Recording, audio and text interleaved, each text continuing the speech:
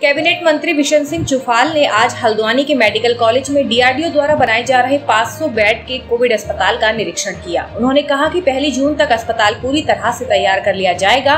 भारी बरसात और अन्य दिक्कतों के चलते अस्पताल के काम में 10 से 12 दिन का समय ज़्यादा लग रहा है। उन्होंने अधिकारियों को बिजली पानी समेत सभी व्यवस्थाएँ करने के निर्देश दिए। बिशन सिंह चुफाल के मुताबिक सीमांत इलाकों में कोविड मरीजों के जो सैंपल टेस्ट किए जाते हैं, उनकी रिपोर्ट आने में देरी हो जाती है। लिहाजा मेडिकल कॉलेज के अधिकारी ऐसी बात करने के बाद यह तय हुआ है कि पिथौरागढ़ और बागेश्वर की सैंपल रिपोर्ट लगभग तीसरे दिन मिल जाएगी। उन्होंने कहा कि डॉक्टरों की कमी को लेकर मुख्यमंत्री से भी वे वार्ता करेंगे। उन्होंने सरकार द्वारा स्वास्थ्य सेवाओं के चलते हर संभव मदद का भरोसा देते हुए कोविड अस्पताल का काम हर हाल में एक जून तक पूरा करने के निर्देश दिए हैं। ये क्योंकि बीच में बारिश हो गई थी। बारिश के उससे बाहर का काम भी नहीं हो पाया था। अंदर जरा सा लेबर को आने में परेशानी हुई। इसलिए पाँच दिन लेट विलम्ब हो गया। इसे पहली तारीख तक जो रिपोर्ट आ रही है जो जो कार्यदायी संस्था था उनसे भी बात की और विभाग के अधिकारियों से भी बात हुई। तो इनका कहना है कि भाई पहली तारीख तक ये कंप्लीट हो जाएगी।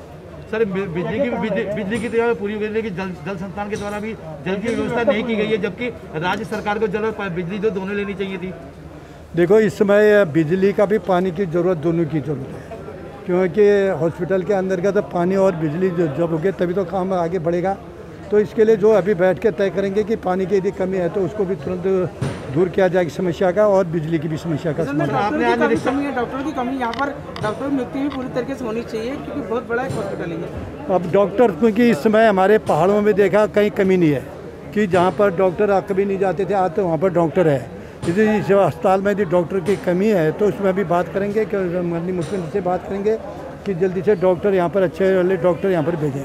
सर निरीक्षण आपने निरीक्षण आपके द्वारा किया गया है यहाँ पे। तो क्या क्या इसमें खूबियाँ मेरा जो मुख्य उद्देश्य था यहाँ पर आने का मेरा मुख्य उद्देश्य यह था कि ये हमारा सारा कुमाऊँ का लोड सारा सुशीला तिवाड़ी पर यहाँ पर पड़ता है। एकमात्र हॉस्पिटल है।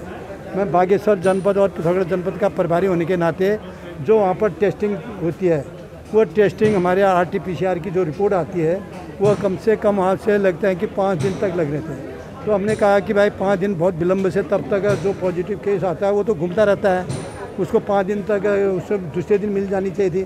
तो इसलिए यहाँ पर जो अल्मोड़ा मेडिकल कॉलेज वाले से भी बात हुई। इनसे भी मेडिकल कॉलेज, जो पिथौरागढ़ के यहाँ पर हमारा कोटा था, पाँच सौ, आठ सौ का कोटा था। बाकी हम लोग पिथौरागढ़ वाले प्राइवेट में भेजते थे हरिद्वार भी भेजते थे, यहाँ भी भेजते थे। तो विलम्ब से जो रिपोर्ट पहुँचती थी। अब ये तय हुआ है कि प्रातः जब यहाँ पर गाड़ी पहुँचेगी तो दूसरे दिन यहाँ से मेडिकल उसकी टेस्टिंग रिपोर्ट पहुँच जाएगी उसको सीधे पोर्टल के माध्यम